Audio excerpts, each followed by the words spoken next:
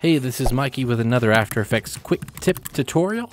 And today I want to show you how to do some randomized text reveal that's a little bit nicer than you'd normally see. So what I want to show you in this is not only randomize the text reveal, but also be able to do some secondary animations to it where you can see that it's kind of scaling in and it's blurring in for each letter as it reveals. And how I'm doing this is with text layer animations. So I'm going to go ahead and just hide this layer and let's start a new one. So just grab a text layer and write anything you want. And let's go into the animation settings. Now, if you haven't ever dived into text animations, it may be a little bit scary at first, but I promise you, you can do lots of cool things with it.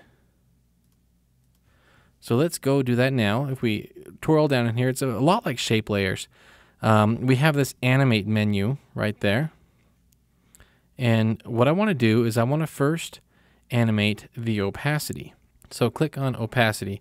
And what this is going to do is it's going to animate the text popping on one at a time. So if I come in and bring this down to zero, then everything's at zero. But if you see there's a range selector, and as I scale across, you can see it's slowly animating on. But I don't want it to be partly transparent in between. I want it to be either there or not there. So let's go down into the advanced and right here on the smoothness, bring that down to zero and then randomize order, turn that on. And we're starting to see what we want, right? But I want to add a little bit more to this. So that first animator, let's give it a name. Just letter on. So that's the one that determines whether the letter is on. So let's also go to the effects and let's go to our expression controls and add a slider.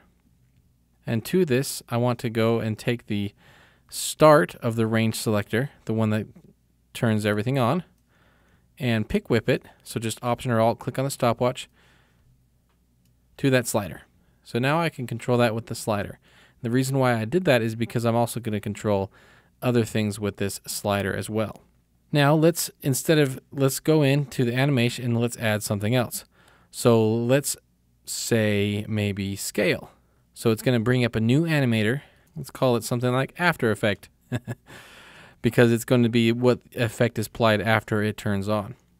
So let's come in here and let's bring the scale up to like 120. And we're going to go into the range selector and do pretty much the same settings. But except for the smoothness, we're going to keep that at 100%. Let's turn random order on.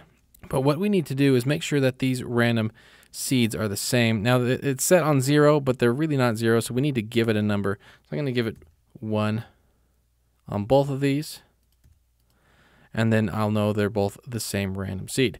Now on the second range selector for the after effect, I'm going to again pick whip this to that slider, but I'm going to minus 1. And so as we slide across, you can see it's going to scale down right after it pops on. And if we make that say minus 5, then it's going to scale down a little bit longer. It's going to give 5 frames before. So we can do some cool things. Now that we have this set up, the letter on, we're going to just keep the same, and then the after effect, we can add more to this. So that range selector is already set. But all we have to do is right here where it says add, we can click there and we can add more properties. We don't want to add it to the animate, we want to add to this little add button here. So we can come in to say rotation and rotate it a little bit and some blur, blur it a little bit.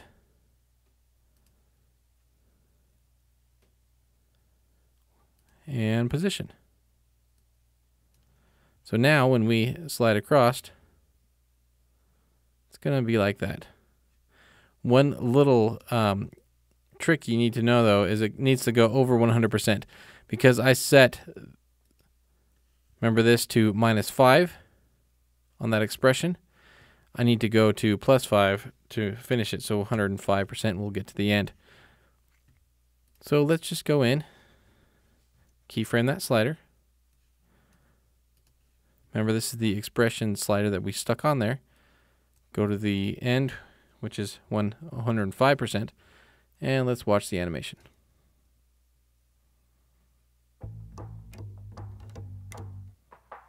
So that is a little bit of a different way of doing a random reveal. Now, if you just want to randomly reveal letters the old normal boring way, well then you know how to do that as well. So thank you so much for watching and we'll see you next time.